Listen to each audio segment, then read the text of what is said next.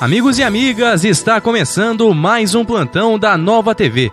Um homem identificado como André JDNJ foi preso por agentes da centésima vigésima sexta DP de Cabo Frio na manhã da última terça. Segundo a ocorrência, o acusado estava foragido da justiça pelo crime de tráfico de drogas. A prisão aconteceu por volta de 10 da manhã, por determinação do delegado Carlos Eduardo. Contra o acusado pendia um mandado de prisão em aberto pela comarca de Nova Friburgo.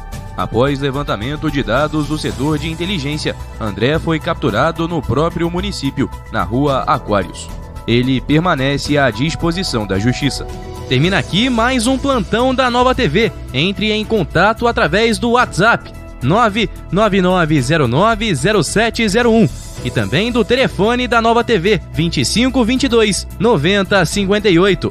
Para mais informações, acesse o nosso site novatvfriburgo.com.br.